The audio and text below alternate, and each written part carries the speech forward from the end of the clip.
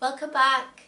Excuse my voice, it's going a little bit, it's probably all the excitement of the weekend. Today we have a bit of show footage for you. Not a lot, because I spent a lot of time actually getting to know some of the subscribers and meeting up with the YouTubers. Uh, but with the subscribers, it was really, really awesome. I've not had so many people come up to me before and stop for a chat and really get to know people properly. Massive shout out to Nigel and my little Welsh crew that we had there. That was brilliant, stopping with you for ages and and seeing your daughter get her first tarantula, that was fab as well. So here's some show footage and then I'm going to show you my pickups after.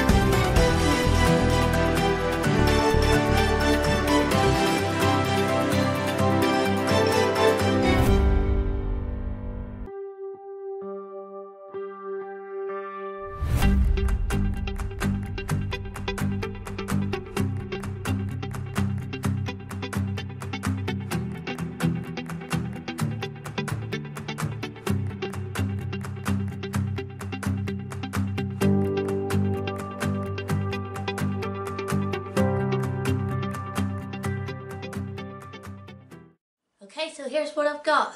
Where do I start? Some of the not so interesting bits. I've got a little bag here and inside I've got some little pieces of cork bark. These are for something that I want to try at home. Uh, it'll be in a video coming up. Some like wood chippings, quite fine wood chippings. That's for some of my millipedes and stuff. So I've got a box of that. That was dirt cheap. I got myself a bag of moss I think it was a quid. And then I won on the raffle. And there was only two prizes left. So I picked another bag of moss. I got some feeder stuff as well. Got some mealworms. They were going quite cheap at the end of the day.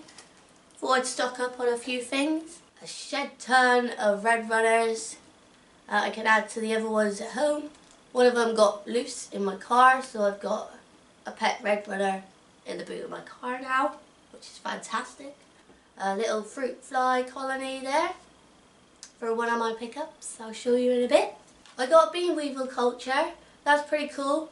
Um, I do find bean weevils quite easy to feed some of my slings and stuff. And to, from most of the other shows that we've been to, I haven't found any there. So that was awesome find today. I'm happy I got those. I got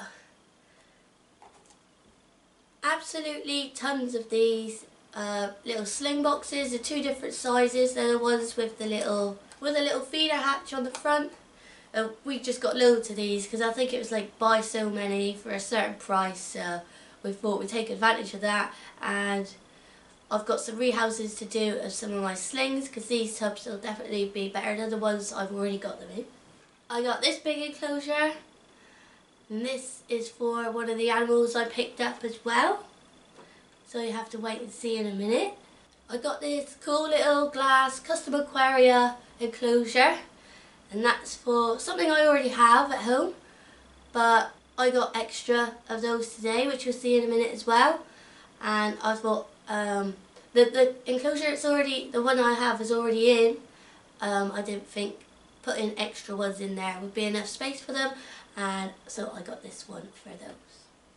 I got another glass enclosure this was really good it's a nice 15 by 15 by 15 cube one. It was only a tenner and that is also for something I wanted to rehouse I already have at home. I'll probably be in a separate video by itself but I'm excited for that because the enclosure that it's already in I can't see in there as much to enjoy it so I thought I'd get a nice big glass one so I'll be able to have a good old look a lot easier. As always because it's now the law for us to get them we have a £50 mystery box from Portsmouth Tarantulas. That'll be on my next video. Me and Sam opened this last night as soon as we got home like we do. Very excited, we love doing these. So there's that one to look forward to as well. And I nearly forgot, we got this absolute beast of a block of cocoa fibre that we are yet to soak. So we best get doing that in a minute. It's heavy! I think that's all the extra odds and ends, so let's have a look at the animals now. I got a birthday present. This is another Egyptian predatory beetle to go with the ones I already have at home. This is from Greg and Rachael from Eight Legs Four Wheels and I'm really excited about this. And they've all got, because they've all got names now that are Sesame Street themed.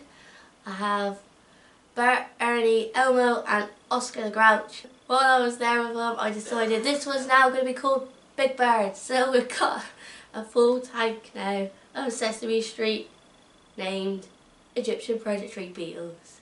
Very good fun. I love these anyway. I'm very, very glad they got me another one. The more the better. They made me very happy. Thank you very much, Greg and Rachael. So these are Thai Pink Dragon Millipedes. I bought one at the last show. I got two more this time. They're really cute, I really do like them and that was for the little glass enclosure, the tiny one I got. I'm going to pop them all in there together so I've got a nice little three going on. I really do like them.